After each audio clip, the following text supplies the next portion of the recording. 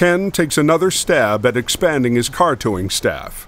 I offered to give Gord a lesson driving a tow truck just to kind of find out what's Gord all about. Because my first impression of Gord was he's a scary looking dude. Gord's a quiet guy. He doesn't emote much. He doesn't have a lot to say. Gord doesn't need to say anything because I'm teaching him. He's not teaching me. Stop. Go ahead about one foot. Right there. He's an awesome teacher. He should be a driving school instructor for tow trucks, right? Good job, buddy. Thank you. You did good.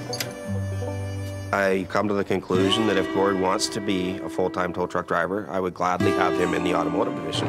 Got high hopes for you. Thanks a lot.